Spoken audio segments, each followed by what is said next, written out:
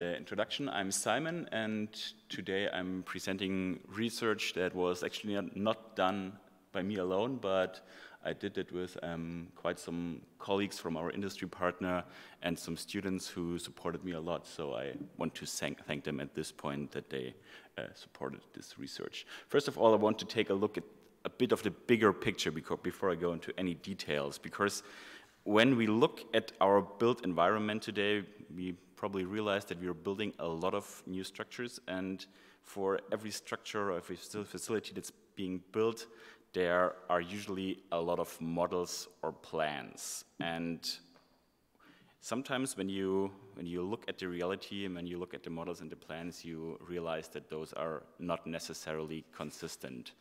And especially when you have older structures and you look at the plans, then sometimes people, when they are renovating something, are realizing, okay, this shouldn't be here and there should be something, but it's not on the plan. So there might be a general problem that there is inconsistency between our models, drawings, and the actual reality. And this is probably true for all aspects of the built environment, but we were looking at this especially in the railway, railway equipment sector. This happened in scope of the so-called RIMCOMP research project, which basically deals with integrating BIM methods into the railway sector or more especially into the railway equipment sector. So everything that's not the actual railway track, but everything that's next to the track, like the signals, um, the, the, the, the, technical equipment of the, of the switches, the balises, and so on. So there are quite some elements that need to be taken into account. And we're working on that with two industry partners, AEC3 Germany, which is probably well known in the community, and Signon is one of the main firms in Germany planning and building railway infrastructure. And well, there should be another video which I'm simply going to skip because um, this really doesn't work. So what we are, uh, our basic motivation is now that we have around 33,000 kilometers of railway tracks in Germany which don't have any consistent or correct documentation. There are about 4.3 million plans that the Deutsche Bahn has, and the administration basically told them you have to check those plans, you have to revise those plans, and you have to make sure that those plans are correct. And they actually have like a special task for, force for doing that, but they are a bit overwhelmed at the moment. And of course, it's kind of necessary for servicing railway security, renovating projects, and so on to have consistent data. So in the research project, we were actually looking at how we could at least semi-automate this process in terms of comparing if what's on the drawings somehow matches what's on the actual tracks. And usually this is done by people walking along a railway track and measuring the distance and then counting the symbols. So of course the railway track has to be closed. Um, it takes a lot of time. I mean, somebody has to walk 33,000 kilometers in the end. So it's a very labor intensive process. And our approach to automating that consists of two parts. There is the part that I'm actually going to present now, and I want just to give a brief introduction to the other part, the actual collection of real-world data, real-world da um, real world data. So we actually mounted cameras on trains which take videos of a train track while the train drives along the track, so this um, is much faster. And then we use another machine learning approach to detect, to automatically detect certain elements or objects of railway equipment in those videos, then we can, um, by GPS coordinates and uh, the kilometers um, um, along the railway track, we can um, export the, the, types and the places of the elements that we find. But on the other hand, we also have to look at the plans and to make the process of recognizing symbols in uh, rail, technical railway drawings easier.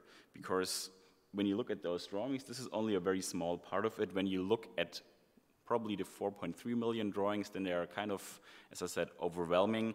You have a lot of different symbols which are in a lot of different places, and this is actually quite nice to look at because some of those plans are just like there are so many symbols in so many places that um, it's really hard to figure out what's going on here.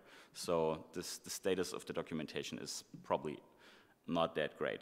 So we were looking at how could we help people who have to look like a, a, a huge plan, how can we help them, help them to at least not having to search for every symbol that's on the plan and then mark it and then um, enter the, the kilometer data and the type of the symbol and so on.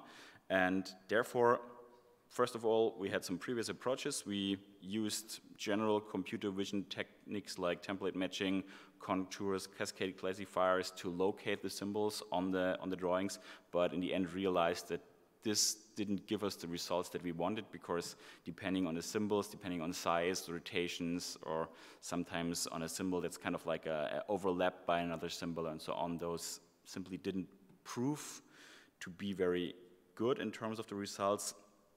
And since machine learning is quite well researched at the moment and it does help a lot in detecting things or objects or certain patterns on images, we decided to go into that direction. Therefore, we actually created quite a nice software tool that allows the user to read plan data in different formats. Then we have a user interface where the user, well, basically the, the, the automated location of the symbols is done, and in the end, the user can check every every hit that we've got and then enter additional information that is next to the symbol, for example, in terms of the kilometer the, along the track that the symbol is on. And in the end, this information is put out. But of course, the interesting part is how do we actually detect the symbols in the plans?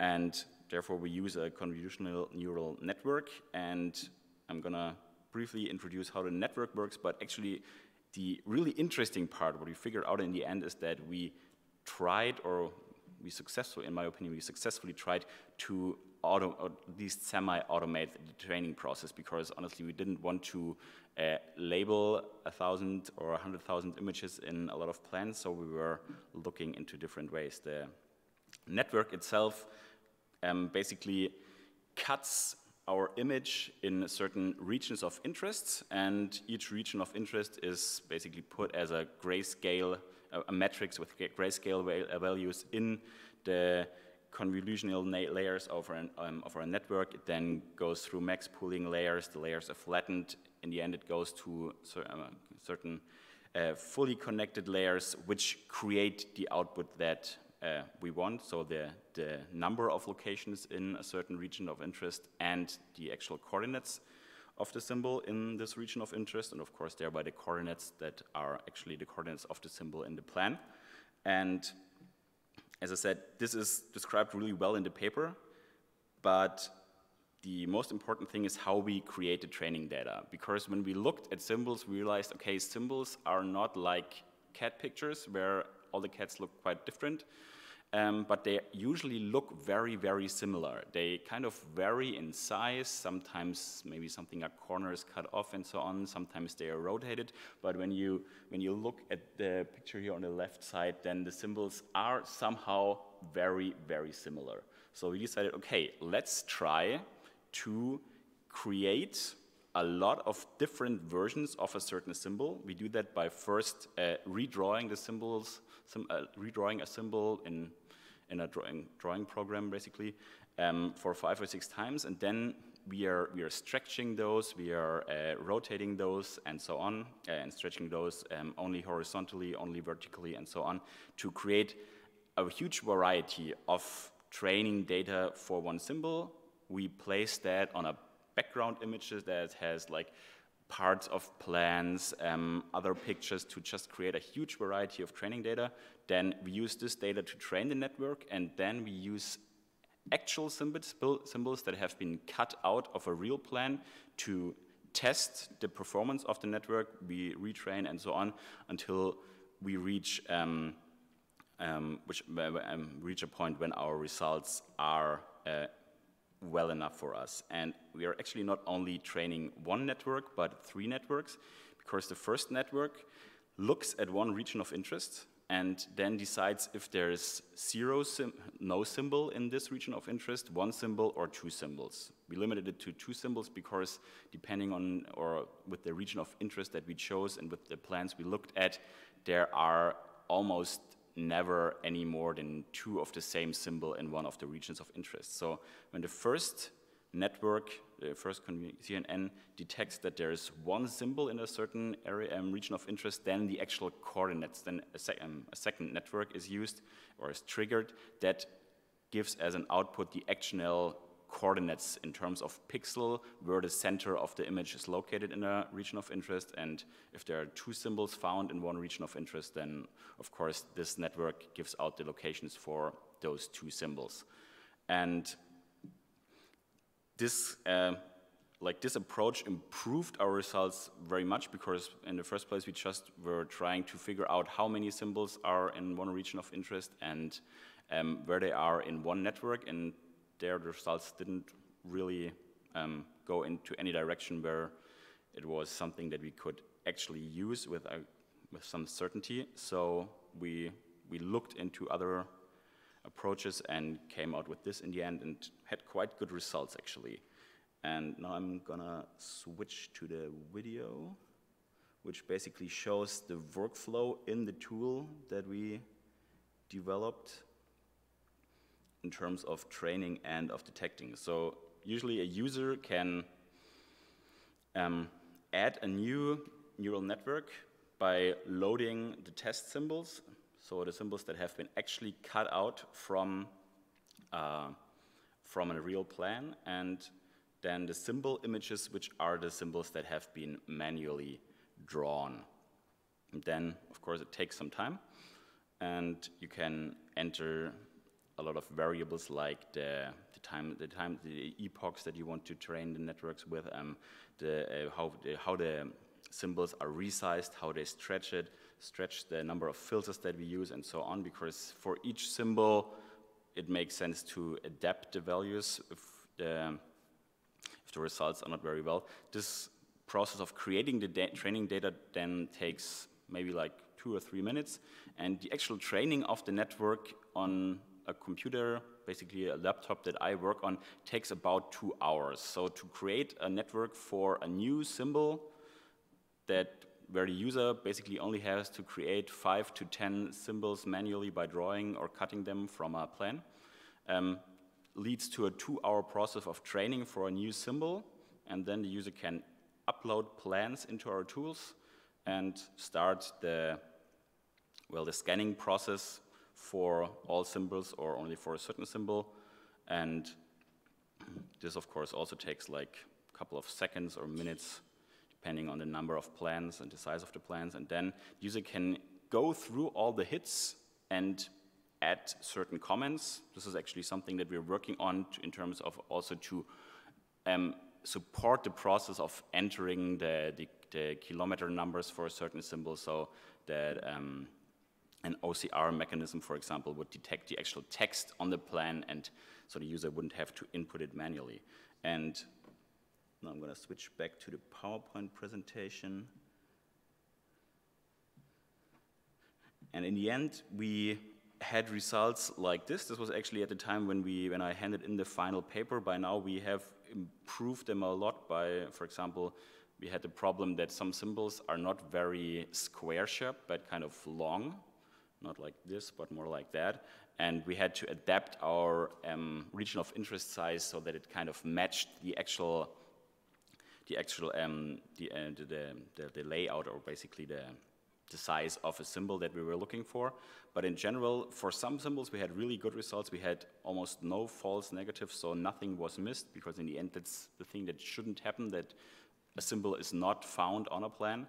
And of course, in some other cases, we had false positives in about 10%, but as I said, we have been improving this by post and pre-processing the plans by a lot. And in some cases, we really have plans where we find all the symbols of a certain type, and therefore this works very well, especially when we use it compared with the with the other project, which looks at the real world data, because in the end, we then have their data basically in an Excel sheet in the end, which says what type of symbol or um, what type of object is on which kilometer on a train, on a certain train track. We have the same information from the plan, and we can just like put those lists next to each other and check if a symbol is there or if it is there on both, um, like in the real world data and on, in the plan data, or if it's maybe missing in the plans and so on. I mean, there are certain, um, there are various possibilities of what could have happened, but in the end, we can easily match the, or check the consistency of all the plans. And while I would not say that it's a completely automated approach because um, the user still has to, for example, input the, the, kilometers or sometimes the type of the symbol in our tool, at least in terms of when we're looking at 4.3 million plans that have to be checked. It, if it's only 10% of the manual work that's going to be reduced in the end, it, it's not that bad, I think. And therefore, we are still working on that, and actually the company that we are doing this research project with it will hopefully support the, the German railway authorities in terms of uh, checking all their plans to see if they're correct or not. And that's it, so thank you very much for your attention, and if there are any questions, feel free.